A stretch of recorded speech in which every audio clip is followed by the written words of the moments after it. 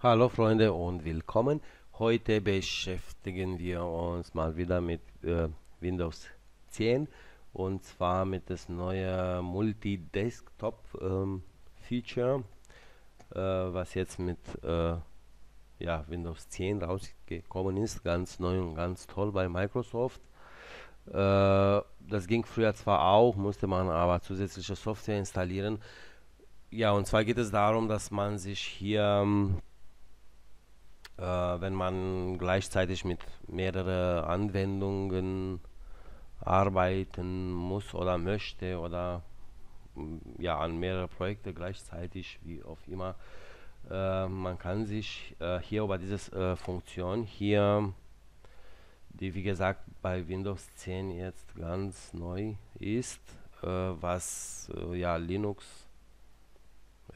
User eigentlich seit Jahrzehnten kennen äh, und Mac-User auch. Ähm, ja, wie auch immer, jedenfalls kann man sich jetzt hier über dieses äh, Task-Ansicht oder äh, sogenannte Task-View äh, einfach äh, einmal draufklicken und hier äh, neue Desktop einfach einmal draufklicken und schon hat man noch einen ja, virtuellen Desktop, wenn man hier zum Beispiel ähm, ja, irgendeine Anwendung jetzt hier startet, zum Beispiel ja meinetwegen Paint hier und man möchte was malen und gleichzeitig aber hier auf, eine an, auf einen anderen virtuellen Desktop hier irgendwie ja mit einer anderen Anwendung arbeiten möchte oder sich einfach ein paar ich weiß nicht Notizen machen äh, möchte jetzt mal ganz einfach. Dann hat man hier ja parallel mehrere Desktops hier und kann hin und hier switchen. Äh, ich kann mir jetzt noch eins äh, erstellen und noch eine Anwendung starten. Äh, ich mache mal jetzt einfach irgendwas hier. Einfach äh, so beispielhaft halt. Ja dann hat man hier die Möglichkeit äh, ja, mit mehreren Anwendungen, wie gesagt, gleichzeitig zu arbeiten. Und äh, was hier noch ganz cool ist, auch vielleicht, wenn man jetzt, äh, also man kann die Anwendungen hier, die hier zum Beispiel unter Desktop 1 laufen, äh, wenn man äh, hier einmal draufklickt und hier Desktop 1, ja, dann erscheint dieses Bild hier und hier einfach mit rechter Maustaste verschieben nach und dann kann man ähm, ja entweder zum Desktop 2 hier verschieben, dann haben wir jetzt hier Paint und Notizen. Oder man kann auch verschieben nach äh, neue Desktop, dann wird automatisch noch ein Desktop, virtueller Desktop hier ähm, erstellt.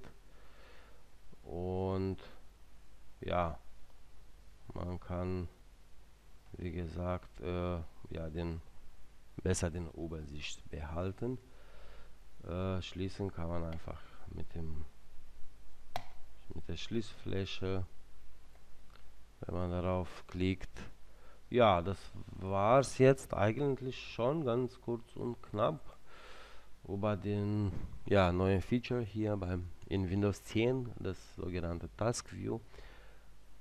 Ähm, ich überlege gerade, äh, solltet ihr dieses Zeichen hier, dieses äh, Task-Ansicht äh, hier in der Taskleiste nicht haben, dann ist das äh, deaktiviert. Ihr könnt das einfach deaktivieren, indem ihr hier irgendwie beliebig auf der Taskleiste irgendwo äh, mit der, einem rechten Mausklick ähm, macht und hier äh, die Option hier Task-Ansicht Schaltfläche anzeigen lässt. Ja, wenn ich jetzt den Haken hier rausnehme, dann ist es weg dann habe ich das nicht. Wenn ich das wieder brauche kann ich mir einfach äh, hier aktivieren und damit arbeiten.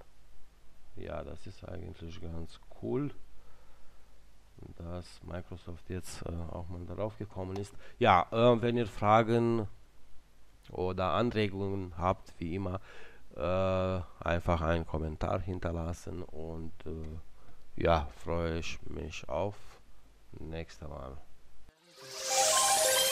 Do you feel the vibes?